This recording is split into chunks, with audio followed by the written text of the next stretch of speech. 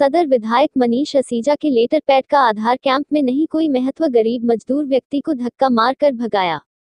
सदर विधायक के आधार कैंप में लोगों के साथ हो रहा पक्षपात लोगों ने लगाया आरोप, अगर आपकी है जुगाड़ तो आपका भी बन जाएगा आधार। एक व्यक्ति ने लगाया आरोप, पुलिस भी मारकर भगा रही है बाहर।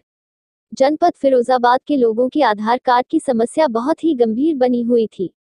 इसी को देखते हुए सदर विधायक मनीष असीजा ने एक महीने के लिए आधार कार्ड बनाने के लिए आशीर्वाद पैलेस में कार्य शुरू किया। लेकिन वहाँ मीडिया के देखते ही लोग तरह तरह के आरोप लगाने लगे, यहाँ तक कि विधायक जी के लेटर पैड का ही उन्हीं के कैंप में महत्व नहीं समझा गया।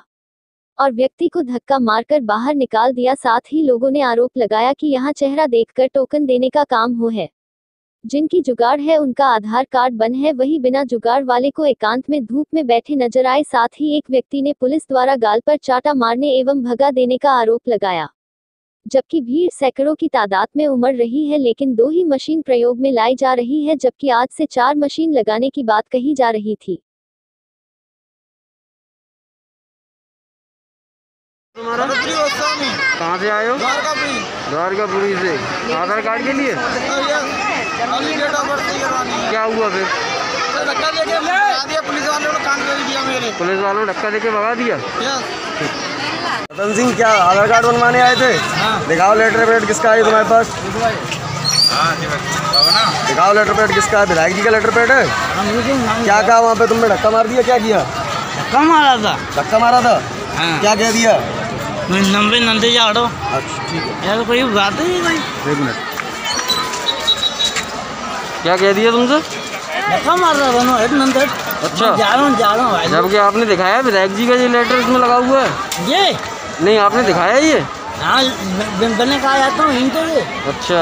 हाँ सांस करे कराए रखते हैं कंपनी रहेंगे विधायक जी के साइन है? हाँ। क्या कह दिया फिर धक्का क्यों धक्का मार के क्या कह दिया? तो नंद भाई जाओ। आपने कहा नहीं यहाँ पर राशन बनना है? वो आधार कार्ड बनना है आपने कहा नहीं? हाँ। ऊपर दिखाओ जरा ये ऊपर दिखाओ। मेरे पे तो परसों ही मोहर मार दी। डेढ़ से बढ़ा दिया चलो। कल आना कहाँ से आए हो आप? कितने दिन हो गए? बहुत साल है क्या करते हो? बेनदारी क्या हो गया है आप आप भी कोई वो नहीं ले रहे रिस्क जो इसमें। रोज़ाना कल कल कल कल। और पुलिस खड़ी देख रही हैं? क्या बात है? दो बार धक्का मारा है इस महिला में? दो बार धक्का। किसने? मारा धक्का किसने कम से कम आइए मैं बताऊँ उस व्यक्ति को भीड़ में कहा था हम दब गए मेरे बच्चा दब गए। बच्चा जख्मी हो गया मेरा वहाँ पर। कितने बच्चे थे आपके? चार बच्चा चार बच्चा मेरे दब गए हम दब गए। कितने कितने बजे आए थे आप? और भी देखिए, सिफारिश के टोकन दिए जा रहे हैं सर अपनी सिफारिश के टोकन दिए जा रहे हैं वहाँ पर। बैठी हुई है है? क्या नाम है? आपका हैं। बरी के नगला से। तारीख डालने सब चीज़ दे रहे हैं। आठ बजे टोकन पता ही नहीं चल रही के क्या मतलब आपका?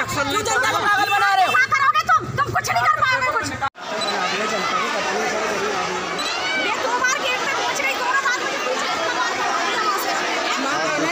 से के आदमी के सौ आदमी के वोट को बनेंगे आधार कार्ड पाँच आदमी को ले सिफारिश वालों को टोकन दिए जा रहे हैं। ये क्या नाम क्या नाम है आपका?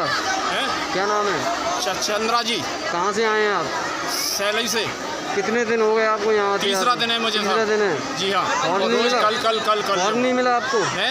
का कार्ड नहीं मिला? अभी अभी सिफारिश मेरी महिला पत्नी लगी हुई है। सुबह से सुबह से क्या नाम है? क्या नाम है जी आपका?